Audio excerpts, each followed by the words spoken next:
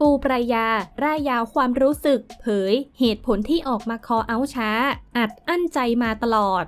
ขอออกมาแสดงความชัดเจนในการมีจุดยืนอีกคนแล้วสำหรับนางเอกสาวปูปรายา ที่ก่อนหน้านี้เธอมักจะถูกชาวเน็ตตั้งคำถามว่าทำไมไม่ออกมาคอเอาเพื่อประเทศในสถานการณ์แบบนี้บ้าง โดยล่าสุดปูปรายาได้รายยาวความรู้สึกที่อยู่ในใจผ่านทางอินสตาแกรม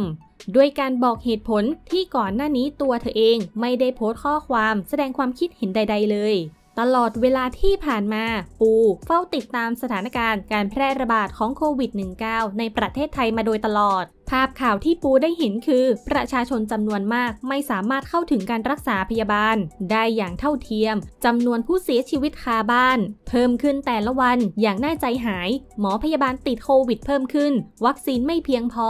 ที่มีอยู่ก็ป้องกันสายพันธุ์เดลต้าได้ไม่ดี ต้องมีคนเสียชีวิตอีกเท่าไหร่ ประชาชนทนไม่ไหว ออกมาเรียกร้องขอวัคซีนที่มีคุณภาพ ที่ผ่านมาปูอัดอั้นใจมาตลอด ปูอยากแสดงความเห็นในสิ่งที่ปูรู้สึก แต่ปูต้องคำนึงถึงผลที่จะเกิดขึ้นตามมากับองค์กรที่ปูทำงาน อย่างหลีกเลี่ยงไม่ได้ วันนี้ปูได้แสดงความคิดเห็นส่วนตัวบนพื้นที่ส่วนตัวนี้แล้ว ปูหวังมาตลอดว่ารัฐบาลจะใช้หัวใจรับฟังเสียงข้อเรียกร้องของประชาชน เสียงร้องไห้ ความเจ็บปวดจากการสูญเสีย บุคคลอันเป็นที่รัก แล้วแสดงความจริงใจ ยอมรับความผิดพลาด ขอโทษประชาชน เปิดเผยข้อมูลข้อเท็จจริง เกี่ยวกับการบริหารจัดการวัคซีน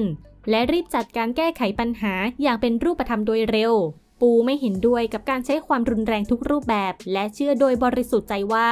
มนุษย์ทุกคนมีสิทธิเสรีภาพที่จะเข้าถึงการรักษาพยาบาล และสวัสดิการของรัฐอย่างเท่าเทียม ประชาชนมีสิทธิเสรีภาพในการรับรู้ข้อมูลเกี่ยวกับการสาธารณสุข ประชาชนมีสิทธิเสรีภาพในการได้รับความคุ้มครองในสิ่งที่พวกเขาคิด พูด และแสดงความคิดเห็น และผู้บริหารประเทศควรเปิดใจรับฟัง และมีคำอธิบายดีๆ ให้กับประชาชนโดยไม่ใช้ความรุนแรง อย่าลืมกดติดตามและกดกระดิ่ง เพื่อจะได้ไม่พลาดคลิปใหม่ๆ กันด้วยนะคะ ขอบคุณค่ะ